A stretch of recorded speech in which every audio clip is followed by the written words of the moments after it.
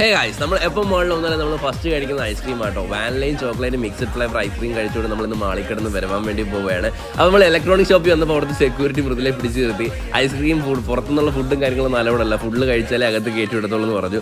അങ്ങനെ പാവോൾ ഒറ്റ ഇരിപ്പിന് മൊത്തം കുത്തി കയറ്റി വേണം വായിലോട്ട്. ലാസ്റ്റ് നമ്മളെ കയറ്റി വിട്ടു സുഹൃത്തുക്കളെ. ഇത് കഴിഞ്ഞ് നമ്മളൊരു വെറൈറ്റി ലിഫ്റ്റ് പ്രാങ്ക് ആണ് വരാൻ വേണ്ടി പോകുന്നത്. ഇവിടെ ആരുമില്ല.